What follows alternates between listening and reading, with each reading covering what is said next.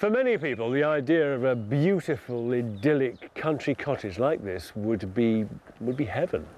So who, in their right mind, would sell a place like that, move out and instead live in this?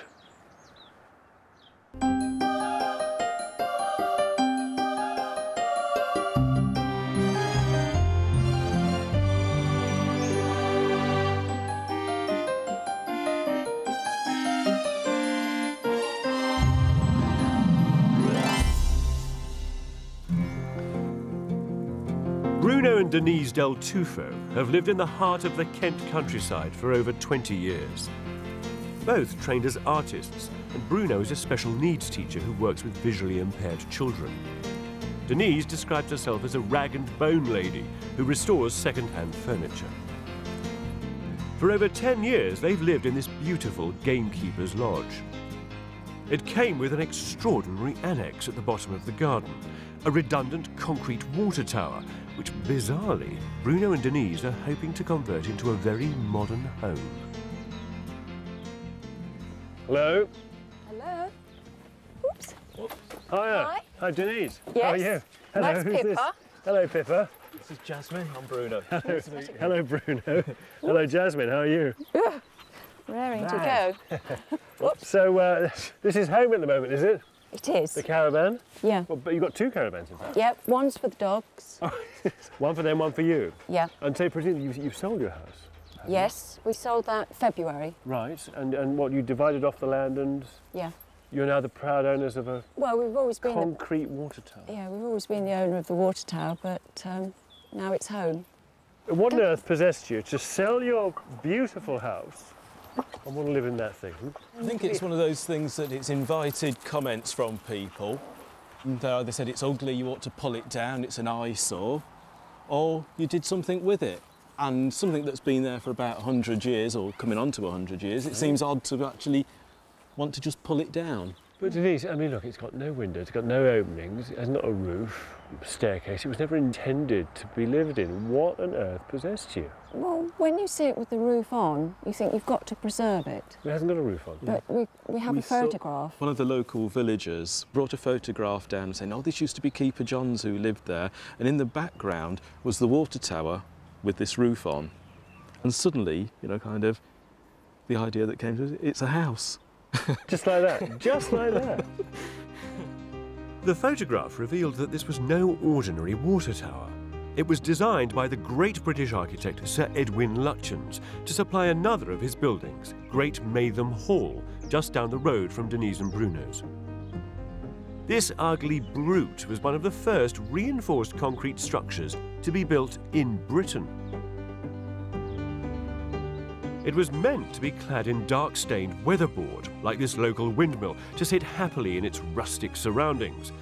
But thanks to the economies of World War I, the cladding was never applied, and the peg tile roof disappeared over 40 years ago.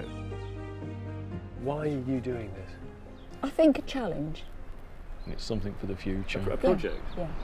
We had the opportunity to make it into a separate dwelling. It's a responsibility that, say, in 100 years' time, I'd like what we do to it to actually be here still. So it's taking a 100-year-old building that I suppose could be threatened with demolition if, you, if you didn't do anything to it, Yeah. and giving it a new lease of life and helping it to last another 100 Yeah, years. exactly that, to embellish it. But a lot of people talk about their homes in, in very, very personal terms. They say, "Oh, I've always dreamt of this. It's, always been on my ambition to have that." And there's a quite a there's quite a selfish drive there. Whereas what you talk about is, is an idea which is which is quite selfless. It's about looking after this structure, almost at the expense of perhaps the way you live and the convenience of life. I, I think that's probably what I do in my business. I, I get a piece of furniture that is distressed and I give it life. Perhaps that's what I'm trying to do. It might seem like utter madness, but Bruno and Denise are totally committed to saving this old relic and are bravely running with their architect's radical design. Based on Lutyens' original concept, the roof will be reinstated. But instead of peg tile and black timber cladding, this will be a building of concrete and zinc. A steel box extension will be bolted onto the side. Raised on stilts, like the tower, it'll provide Bruno and Denise with extra living space. At the front of the building, a two-storey glass extension will house the entrance hall, a utility room at the base of the building, and an enormous steel staircase winding up three levels. In the main open-plan living and dining area, big, boxy bay windows will capture light, as will a huge drum lantern at the far end of the extension. Surrounded by walls of glass, the steel staircase continues up into the tank itself. Here, Bruno and Denise plan to divide the space into two guest bedrooms and a bathroom and cut windows into the concrete walls. The master bedroom will be squeezed into the pyramid roof space. Roof lights on three sides will reveal wonderful views across the Kent countryside. This should be a truly avant-garde building with, thanks to Bruno and Denise, vision and integrity. So, how much have you got, as it were, sitting there to spend on this project? We asked for a ball figure right at the start of it. We said, right, OK, we've got the idea. How much could it cost? Just give us a, a rough outline. And they said, oh, about 250,000. So when we sold the house, that was the lump sum that we put away and that's the working capital. So has the main contractor costed it and given you a firm, firm estimate? No. Okay. um, do you have anything more than £250,000? No. Can you get a mortgage on the water tower? I'm not going to get a mortgage. I don't want a mortgage. So not Bruno is hoping to retire in the next couple of years and Denise only earns a modest income from her furniture restoration business, so money is tight. They'll help ease costs by continuing to live on site in their caravan. And they've hired architect Derek Briscoe to oversee the whole build and ensure it doesn't go a penny over £250,000. Now, one thing I know is you have, you have um, given them a rough guide price. You've said, look, £250,000 to do this job. But architects are famously optimistic, famously over optimistic about projects, and they only have £250,000. So, what happens if you're wrong? We are working in a great deal of detail. You have to on this sort of building. You have to cover each option. We're not leaving contingencies. So you're being very thorough? Very. But days before starting the project, Bruno and Denise get a nasty shock. A crisis in the US market sends the price of steel rocketing, and the build costs come in £50,000 over. Derek needs to completely rethink his design, while Bruno and Denise are left in limbo. We've put our life on hold, or however you want to call it. Financially, we sold our house to do this, found a tremendously super design for it um, it, but, it would be hard to walk, wouldn't yeah. it? But the question, can we afford to do it or not, raises its ugly head. And you think, well, I've come this far, um, I'm not going to back down. There must be a way. But unless the price of this project comes down, Denise and Bruno's dream of saving the water tower is over.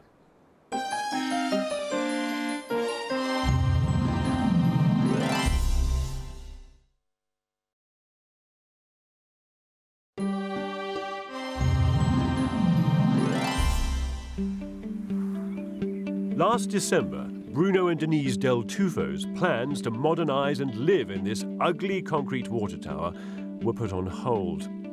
The original concept proved too expensive, so the building has had to be completely redesigned by their architect, Derek Briscoe. Derek's original idea for the extension to the water tower was to build it out of steel, like this sea container except the price of steel rocketed and so consequently did the price of the project. So Derek's brilliant alternative is to build it instead out of timber and to disguise that by cladding it with a thin layer of metal.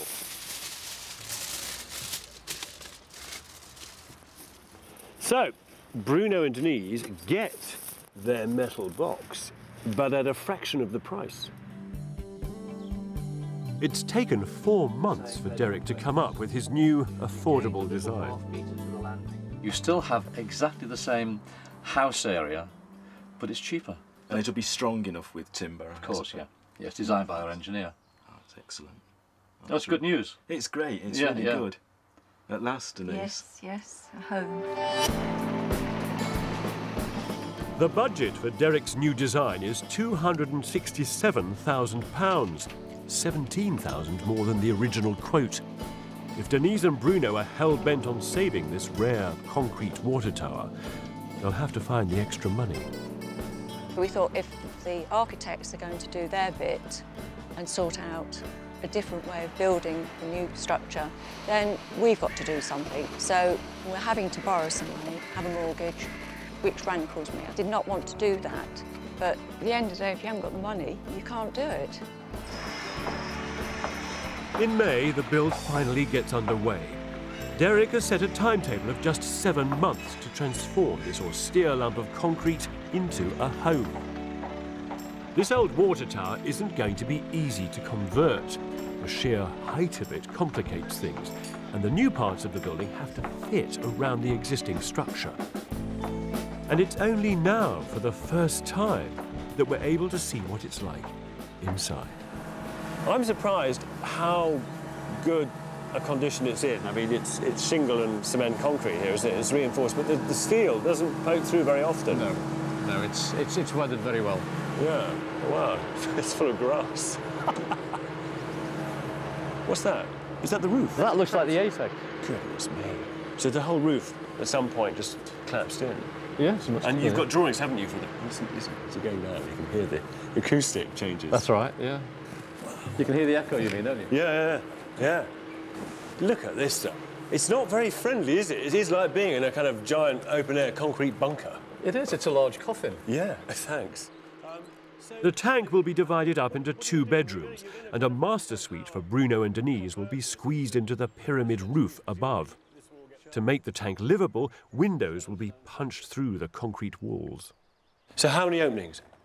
Two. Two. That's it. So we have an opening there right. and an opening here. So you're not going to, as it were, compromise the. Um, I mean, I don't mean the physical integrity, but the kind of the aesthetic integrity of this water tower. Are you? Too No, much. no. From, from the outside, you will, you will still see the expanse of concrete. This is a really exciting project. Living here will present some fascinating challenges for Bruno and Denise, but building it and converting it even more so. Just creating the openings for the windows means some serious civil engineering. This old concrete is so tough, even high-tech diamond-tipped cutting tools take hours to cut through it. The concrete predates mass production methods. It was hand mixed and packed with flint shingle, so it's quite literally rock hard. Drilling goes on late into the afternoon when Bruno returns home from work. Look what they've done to your building. Look at those holes. Look, they are, they're, they're destroying it. They're dismantling it, you know? No, I don't think they're dismantling it. What they're doing is they're revealing the treasures of the water tower. Oh, tower. you know, talk of, talking of which, look at this. Look at what is in your water tower. That is a core drilled out through the thickness of the wall of the water tower. Look how thick the wall is. It's absolutely beautiful. It's like a precious jewel. Mm. And this is all shingle. It's all hard shingle, and the, the concrete is so dense. You know, Yes. there are no gaps or anything. In fact, actually, look, hold that for a second. Look, I've got a bottle of water here. This is quite magical. Look at that. Aren't the colours just utterly beautiful? Like, you know, pebbles on a beach. Yeah. No red one, no. no. Yeah. It's sort of like revealing history, isn't Yeah. it? Revealing history it may be, but this is an incredibly slow process. After an entire week of drilling, the cutters have only just managed to cut out the two windows. But that doesn't stop Derek adding a third. He's realised that by altering the staircase, another window in the tank would offer great views over the countryside. It's a fantastic view. I know there's a cost involved, two and a half thousand pounds or so. If your question is going to be, is it worth it? I would say it's worth it. the view is that good. You'd pay that amount for a painting of the view. By late June, six weeks in, work begins on the new extension. It's been designed to slide in between the legs of the tower, like an almost temporary addition. A little bit like Denise and Bruno's caravan, which for now is slap bang in the middle of a very busy site. When you get up in the morning, if you're not up before the builders come on site, you've got to make sure that your curtains are closed. And there's nearly always someone out there. I think at times, I mean, I'm not here as much as you because I go off to work, which is, a, some ways, it's a bit of a relief because if you're on site all the time, you know, you kind of get tense and get a little bit anxious, and if things go wrong, it magnifies. But when you go away, you kind of do have a little bit of respite. To keep within the budget, the steelwork has been pared back to the bare minimum, just four legs, connected by a simple steel box framework. The rest of the structure will be completed in timber and then clad in zinc.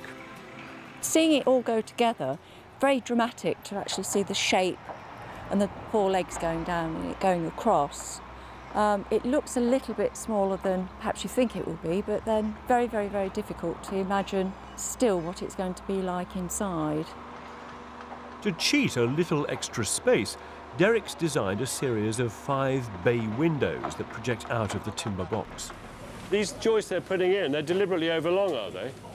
Yeah, that's the cantilever for the, for the bay windows. Right, so the bay windows are made entirely then in timber? Is oh yes, structure? yes. The whole of this structure, which is which is the floor, the cantilevers, then the walls, and the flat roof. It's so it's all timber, timber framed. So it's a bit of a hybrid. I mean, often I've seen timber framed buildings, which then have a kind of a, a bit of uh, vestigial steel put in just to sort of help the structure along, rigidify it a bit, stop movement.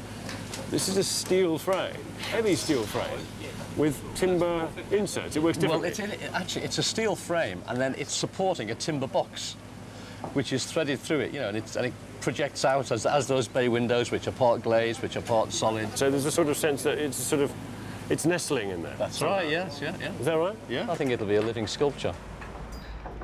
This may well be a very sculptural building, but every step of the way the rooms are being squeezed into the awkward spaces around the tower. I just hope that Denise and Bruno end up with a home that they can live in comfortably. Given that you were both at Art College, can you think of this as a home or do you think of it as a project, as a, as a sculpture? It's a home. Yeah. It's basically it's a home. It's a home that we're going to share, Denise and I, and with the dogs, and it's got to be something that functions for all of us. I think for it to survive for the future, for other people to come after us, it, it's got to be a practical home. But Denise, you also restore furniture, or rather bits of furniture that other people think are, are, are valueless. Well, they probably are valueless. Um, yeah, broken chair, settee, whatever. Um, I love dirty bits of wood. So is this just a, a giant piece of furniture to restore? It, it is indeed, yes. What is clear is that this is a very sensitive conversion, which reinterprets Lutyens' original vision for the tower in a very contemporary way. And that's particularly evident in the design of the roof. What I like about Lutyens is that he was the greatest showman of his age. He sold his very confident theatrical style of architecture to an emerging elite of traders and manufacturers. In effect, the new aristocracy of Britain. And he did it with buildings like this. This is Great Maytham Hall, the building the water tower used to supply. The ancillary buildings Lutyens also designed offer a real clue as to how Denise and Bruno's roof will be reinstated. It'll be flared in shape, like this little gazebo. Although delightful to look at, the modern recreation of the roof will require some contemporary thinking. If you try and build a roof with two bits of wood like this to make a slope, uh, and you put any kind of load on that roof, it'll just go like that. So what architects and designers do is that they, uh, they join the two slopes of a pitch of a roof with a brace to make a truss. And that makes a very strong shape, a triangle. And by repeating trusses down the length of the building, you get your roof. The trouble is, is that with a truss, you get this horizontal brace, this cross member, and in Bruno and Denise's roof, well, that's just going to cut right across their headroom. So what's the solution? Well, the solution is to put two trusses, one either side of the building, of the water tower, to lean them together like that to form a pyramidal roof. The base of the pyramid is then braced to make a square around the top of the building. By mid-July, just two months into the build, Bruno and Denise are beginning to see real progress on site. I have the easy job, quite honestly, because I go away, leave all the kind of cares and the troubles behind me. So it's usually about 10 minutes before I get to the property that I actually think, oh, I wonder what's been done. When the girders went in, it was suddenly something more than the water tower. And now that the roof's gone on, it's suddenly taken on its identity. And I think it was about two days ago, the water tower suddenly became a she. Yeah. And it's kind of got a personality now. So there are three things to come home for. There's my wife, the dogs, and now the water tower. You know, she smiles at me as I come up the drive as well. So it's great. Just as Bruno and Denise imagined, the roof is starting to transform this ugly structure. And like Lutyens, architect Derek Briscoe is paying great attention to the detailing of this roof. He's incorporated an ingenious hidden gutter to protect the clean lines of the pyramid-shaped structure. Nice roof, Joe. Very nice roof. Does this form the wall of your hidden gutter? Hidden gutter, that's correct. I'll show you what it's going to look What, like in here, plywood? hopefully. Yeah. That'll be there. Yeah. Um, just pass me that bit there. What, this one? Yep. And that'll be in ply, of course, but it'll be something like like so. Right. Okay, so the rain A little bit higher. collects in here. And then what happens here on this, this side of the roof? We've got a section like so, which is which is attached to there, which gives you a sprocket uplift, which make this pitch slightly. Sprocket uplift. Yeah, that's right. That's interesting because it's, it's, it's slightly shallower Yeah. than, than the roof line, which is like, like Lutyens' buildings, which had roofs that kind of curved That's at the right. bottom. This is a kind of cubic version of it. that's right. So the water will collect in here. Yep. That'll oversail. This will all be covered in zinc, so this gutter gutter will be completely hidden. You won't see nothing from the road. That's right. It's fantastic. After just three months of building, Bruno and Denise's eccentric water tower conversion is beginning to look more like a house. I think probably happens with every building that at a certain point, for example, when you put the glazing in, the building changes character. But with this one, it sort of, to me, certainly seems to have changed character a lot since they put the roof on. I know it had a roof, but every time I've seen this, it's, it's just been a kind of big, hollow, empty concrete lump, with a structure on stilts, and, and now for the first time it looks like a building, you know, got a pointy roof on. Got a hat. Yeah, got a hat. Her, her best Sunday hat on. It's still a fairly ugly structure, isn't it? I disagree on that. But you think it's beautiful? She's becoming a very, very handsome. She's slowly revealing herself, rather like a beautiful lady who's sort of slowly kind of showing everyone just how attractive she is. I think it's an ugly lady who just happens to have a very nice smile. We'll wait and see.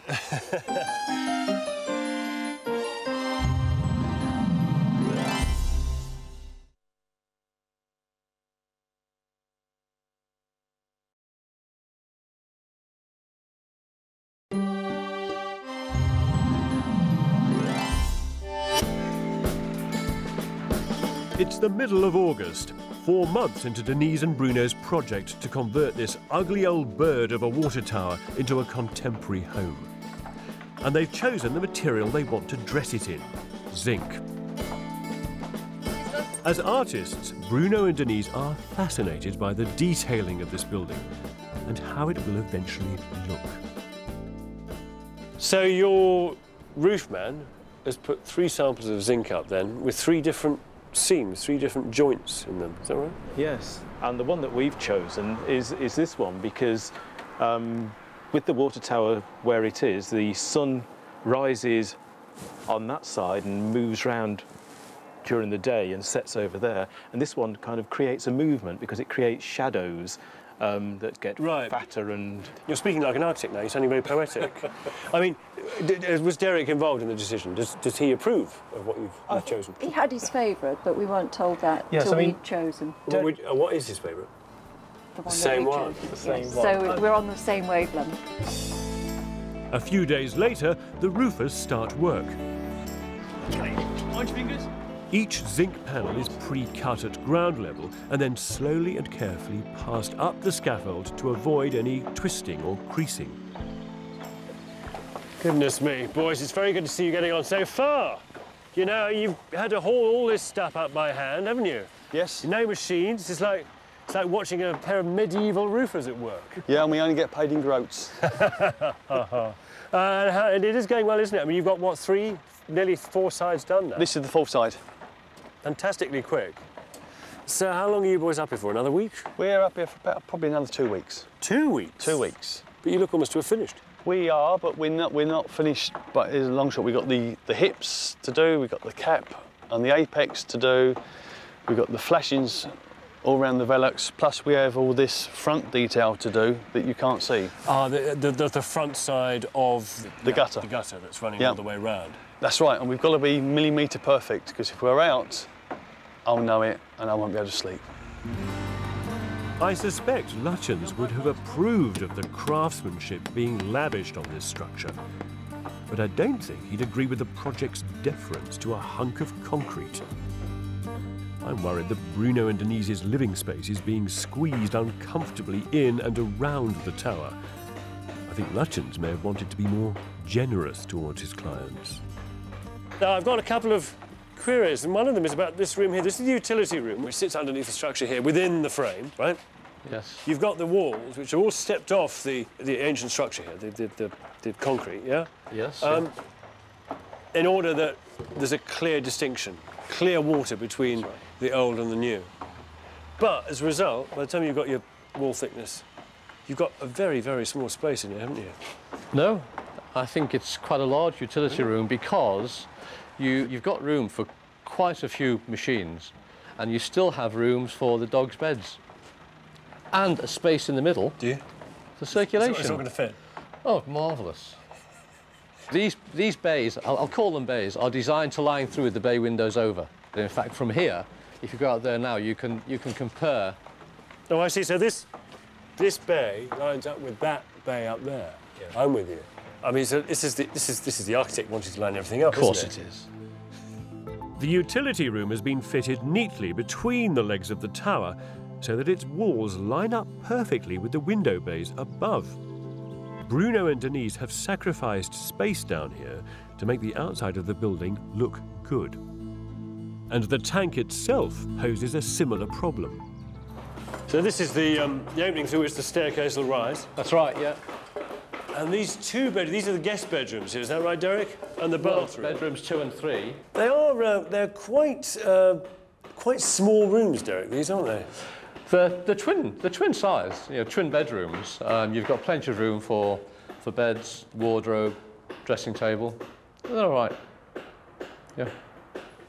We'll go upstairs and uh, let's have a look at this. Do you know, from down there, it looks as though it's going to be very tight up here, but in fact, how much room have you got? You've got, hmm, anything sort of past here, for me, really, and you, is dead space, isn't it? You can't, you can't move beyond Yes, the line of these of course, it's, it's ideal for, for wardrobe space. You'll appreciate the space going to the walls, going, in, going into the eaves. So Derek is teasing and cheating space out of this design in little pockets and alcoves. And anyway, it's only me that seems concerned that living here is going to mean all kinds of compromises. Bruno and Denise seem more interested in aesthetics than practical considerations. There have been comments about the size of the utility room and about the size of the build, and one of the suggestions was that rather than have this detail here, why didn't we just take the walls straight up to the concrete and it would have made the, the, the, the building so much bigger. But then you would have lost this beautiful detailing here. We're actually going to have the original concrete legs there with all the sort of workmanship of 90 years ago. We're going to have the zinc, we're going to have little windows, and the whole proportion of it and the whole sort of balance of it is going to create something that's really worthy of being in the Tate Modern. I have to say, it's unusual to find clients who are so passionate to conserve and respect what they have. They're also willing to invest in avant garde design, the next component of which is the enormous drum lantern that'll sit on the extension. It's another sculptural gesture that just might help turn this ugly duckling into a swan. There's only a month to go before Bruno and Denise are due to move in. The builders are working hard to try and meet Derek's exacting standards. But covering the entire building in zinc is taking time, and the schedule starts to slip. I think we originally allowed for something about nine weeks' work. And we've been here over nine weeks now. We've probably got, with all the rest of the extras we've still got to do, probably about five to six weeks. This extra work is costing money, and the budget for the build is starting to go over what Bruno and Denise had hoped to spend. So your original budget was, when you started the build, two, six, seven, is that right? I mean, maybe as much as 300 in the end. I would think that's probably nearer the figure, to be truthful. Are you comfortable with that? Because Bruno was hoping to retire, wasn't he? Yeah, and there are still ways of being able to do that. Once you've started and you've made that commitment, you just push that little bit further. Right, so you're still in your safety zone, but you're outside your comfort zone. Yeah, yeah. But isn't she worth it? The level of detail and craftsmanship that this building demands, that Bruno and Denise demand, means their schedule is falling behind. But they can't afford any more delays. I think at this stage, I think we're all getting a little bit tired. And, you know, the project's gone on since May. Um, everyone's working really, really hard. And the end's in sight. So I think what it is, it's a case of everyone's taking in a big intake of breath and then it's a charge for the line, you know, and it's that sort of um, mixture of sort of anticipation, mixture of excitement, mixture of frustration a little bit because sometimes it's not going as quickly as you want, but it's going. By the end of October, work on the extension still isn't complete. The door frames are only just being fitted, and the green tarpaulin hides a potentially serious setback. This is where the steel framed glass box, which will house the entrance hall and staircase, should be. It's one of the main features of the building, but there's no sign of the steel beams needed to build it. So, Joe, I gather no one in your office wants to speak to me about this, um, this little hiccup on the build. No, they've left it to me. They have, haven't they? That's Yeah. right, yeah. Yeah. And so, what's to be done then? Well, we've been waiting for these stills now for about four or five weeks, and the story is that the architect hasn't rubber stamped it and passed it on. Right. So there are two avenues here that, of, of progress that Hmm. this is stopping you from getting on with. One is all the internal fittings. At the moment, at the moment it's all exposed. I mean, you, right. you need this steelwork up to put a roof on to make the building weathertight to get on with all that internal stuff. Correct. But equally, once that steelwork's in, it's also going to demand the glazing, isn't it, on Oh, the yeah. outside of the building? Which, again, I mean, that can't be measured until. Till it's up and they've got the dimensions between steels, etc. So, how long to get the glass here then? Four, six weeks maybe. The steel has been held up, and so too will the glass, while Derek waits for measurements to be taken on site. It means yet more delays for Denise and Bruno. In the meantime, the builders can only do a few finishing touches to the extension and make basic preparations for the underfloor heating. Not having this steelwork ready is a pain, isn't it? It, it is rather. Really, truthfully. Yeah. But it's quite a serious one because you were going to be moving in when, originally? Middle of November. Which is next week. Yeah. But there's no way you're going to be in, is there? No. So when do you expect to move in? Hopefully before Christmas. Do you think so? I mean, before Christmas is six, seven weeks away. Who's kind of jumping up and down at the moment? Are you are you putting pressure on Derek to get these drawings ready? No, obviously not. Um, is Bruno? No. is anybody? No. Bruno and Denise may have given their architect free rein over this build, but unless they start cracking the whip, they could be calling their caravan home for many more months. This old water tower is uh, quite assertive, even aggressive. And oddly enough, those are the sort of qualities that, that you need if you're going to try and drag an old structure like this into the 21st century. Qualities which Bruno and Denise just don't seem to have.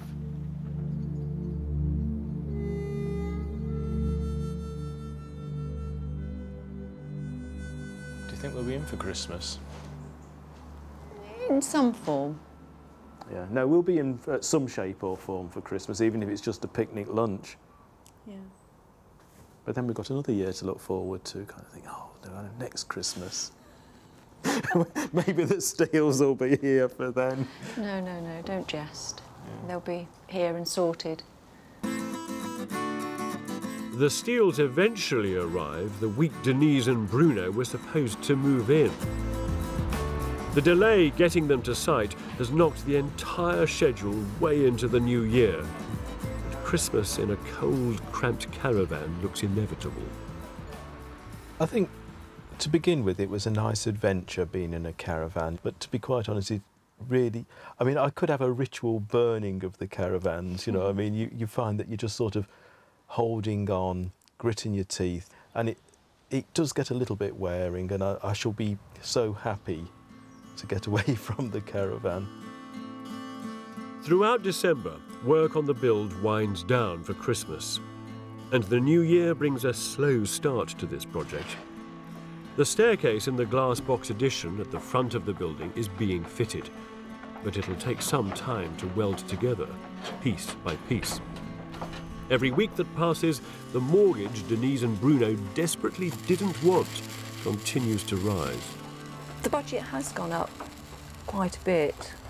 It's gone up another 11,000. Yeah, it is disappointing. It would have been better if we could have brought it in on target. But I don't think there's a na- natural stop point now. I think you've really got to find the cash and mm. take it to its conclusion. Yeah. But never mind, not much further to go. Not too many more writing of cheques. Not many, there's not many more checks we've got we can afford to write. No, no. Denise and Bruno are remarkably philosophical. It's another month before work on the staircase is complete and the glass for the extension arrives on site. It's a crucial step towards getting this place finished.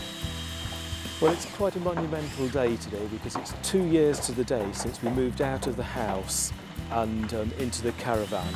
And it was when the build finally started to become a reality. So, two years on, the glass is actually going in, and that's one of the final pieces of the jigsaw. So, we're really quite excited about that. With the glass in and the building finally sealed, all of the trades on site are able to throw themselves at the final stages of this project. For the last nine months, Bruno and Denise have devoted all their energy and their life savings to this ugly old tower. I'm still not sure whether it'll reward them with a comfortable and practical home.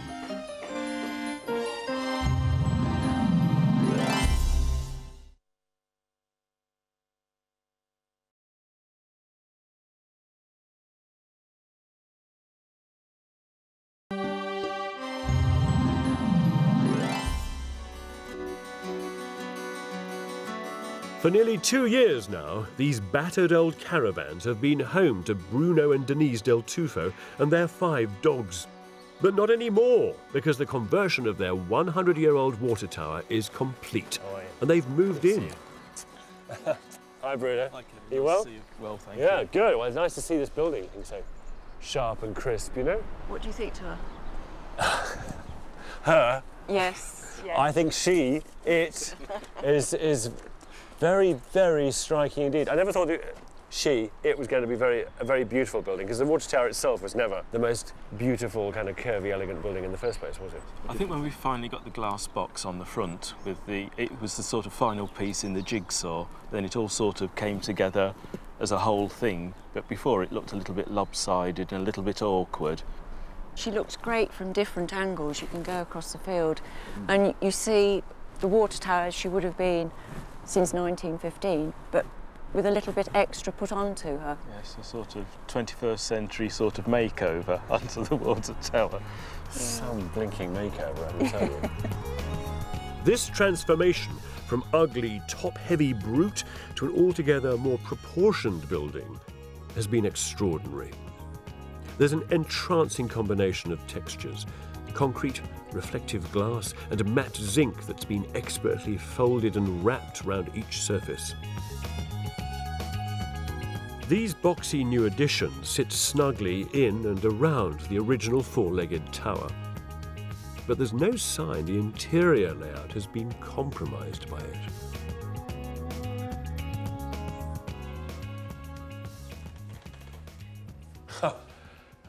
Extraordinary. This room is so much bigger than I thought it would be. It's it's really comfortable, isn't it? It's a bit like the TARDIS. There seems to be more room inside than you would, would imagine.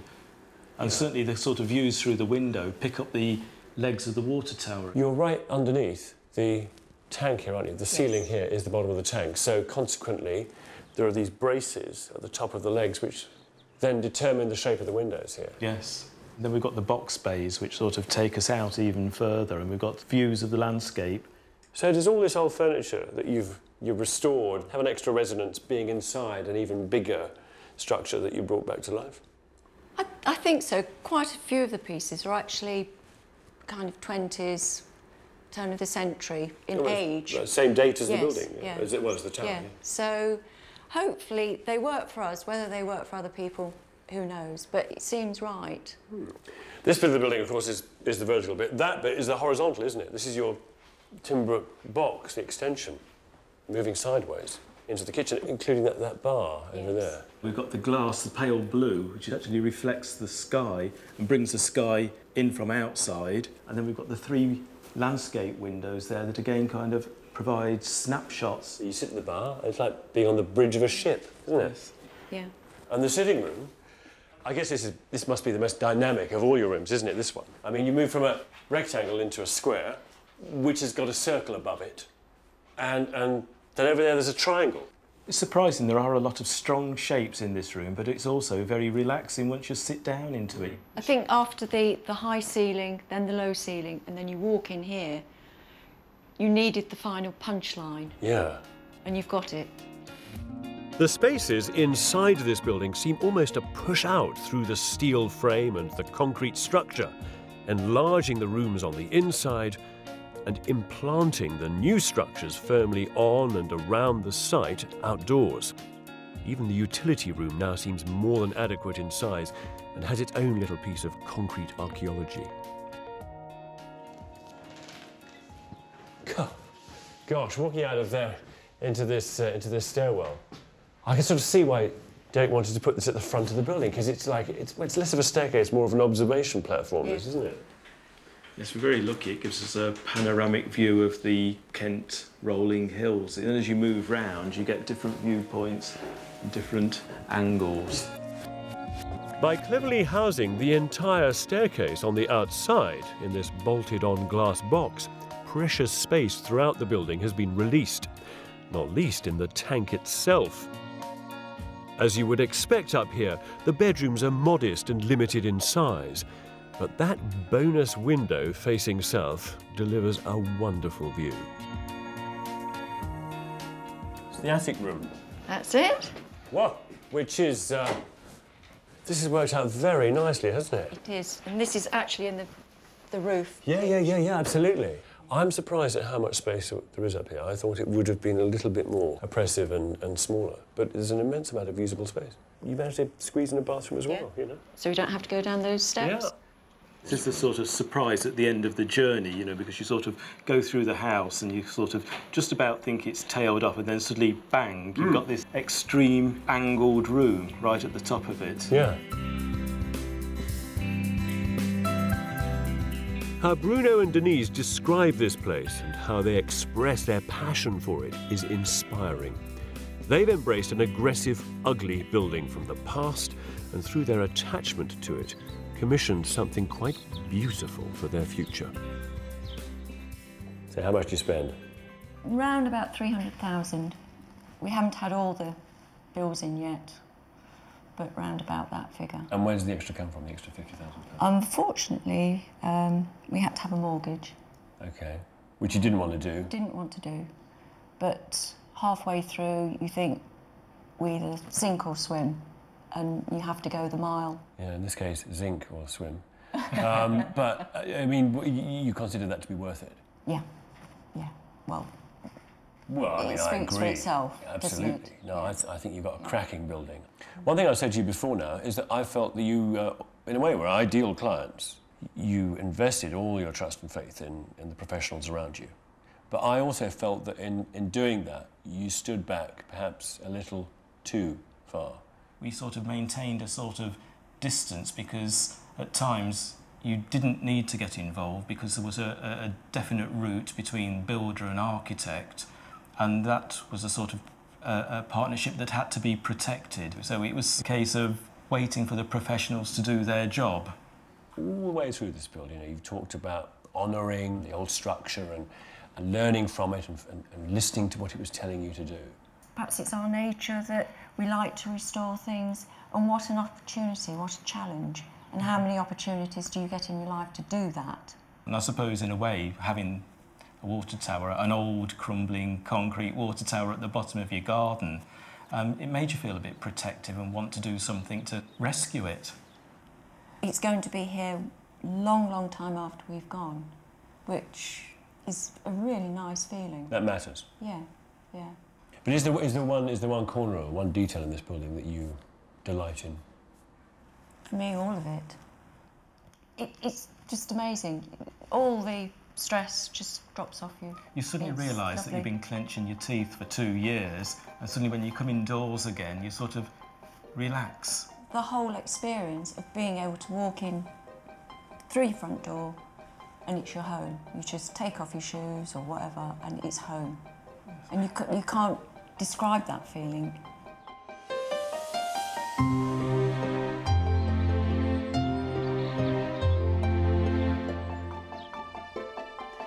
This was always a brutal industrial structure. The danger was that it was always going to remain that, and indeed, on the outside, there's very little to suggest otherwise.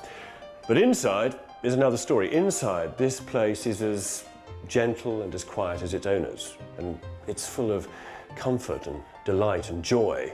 And that is because Bruno and Denise chose an architect who saw the world the same way they did. And then they were brave enough to trust him implicitly. And he in turn responded to that trust by giving them not only an extraordinary building, but an extraordinary home.